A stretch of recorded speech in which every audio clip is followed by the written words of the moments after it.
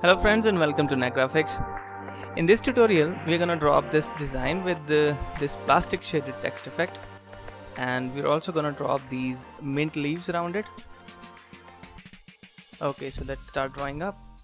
Firstly, make sure that your smart guides are on and we're gonna do some precise work so I also prefer turning off the align to pixel grid option. Okay, now pick the rectangle tool and draw an artboard sized rectangle.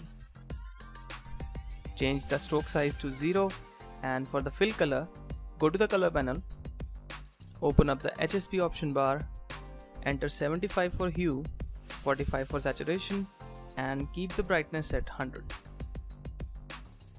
Now go to the appearance panel, select the fill color and now we'll apply an effect to it.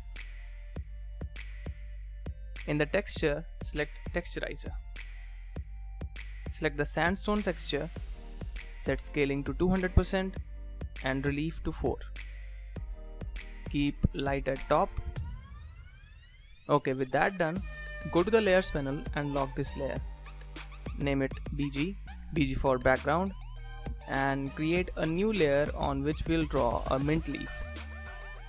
So name this layer as leaf now pick ellipse tool and draw a 50 by 50 size ellipse. Let's zoom on it and with white arrow select this anchor point double click on white arrow button to open the move dialog box and here in the vertical column enter minus 17. With this anchor point selected convert this to corner point like this.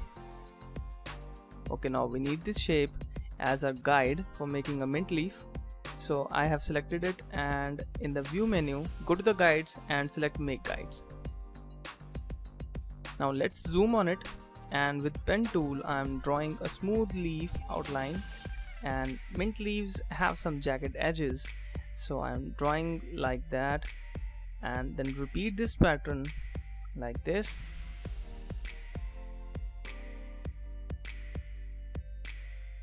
Here we have half side of leaf ready. We had zero stroke size so we are not able to see it. So let's increase its stroke size now we don't need this guide so let's just clear it. Now select this half leaf and go to the reflect tool. Double click here to open its dialog box. With vertical selected make a copy of it. Move it to this side. And now let's color it with some bright shade of green. Enter 148 for hue 100 for saturation and 57 for brightness now let's color this side. Enter 128 for hue 68 for saturation and 71 for brightness. Now let's make it look like a leaf. Bring it close and with the pen tool start drawing from this anchor point. Like this and join the segment here. Now select these parts and change the stroke size to 0. Now let's cover up this gap. Pick white arrow, select this anchor point and move it with arrow key like that. Okay, leaf is ready now and select these shapes and group them. Now zoom out and lock this layer and make a new layer. Pick text tool. Set the font size to 450 and I am selecting the Snap ITC font. You may select any other font of your liking. Here I have my word mint.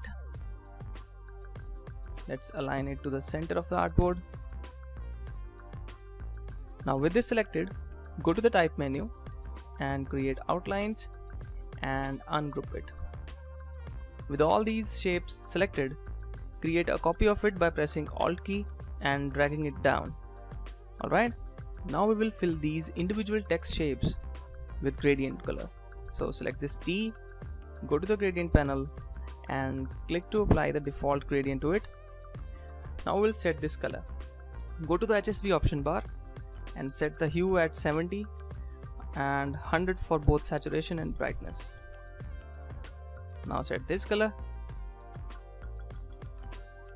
Enter 144 for hue, 100 for saturation and 50 for brightness.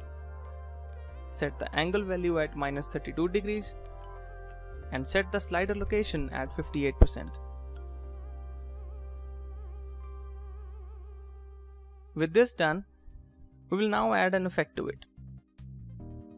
Go to the Appearance panel, select Fill Color and go to the Effect menu.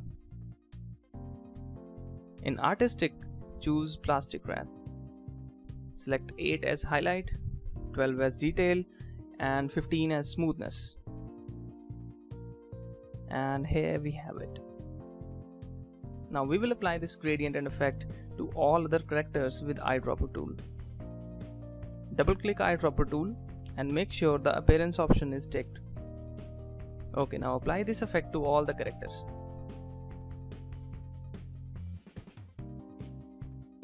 So there we have it. But there is a problem with it. If you zoom on it, you will see jagged edges due to the plastic wrap effect applied to it, which is a raster effect and not a vector effect. So to make it look fine, smooth vector like shape, here is what we do. Select both T shapes, click again on this T to make it a key object and now let's align the lower T exactly over it. Click horizontal align center and vertical align top. Now the black T is exactly over the green T. And now deselect it once and again select both these shapes and in object menu make clipping mask. And now we have a smooth vector looking shape. Alright, I'll perform the same action to other characters.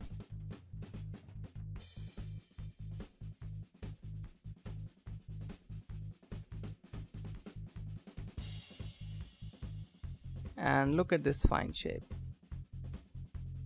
And now for the final move, lock this layer and come to the leaf layer again. Select this leaf and place it to the brushes panel to make a new brush. Select the pattern brush and in its options set spacing to 80%.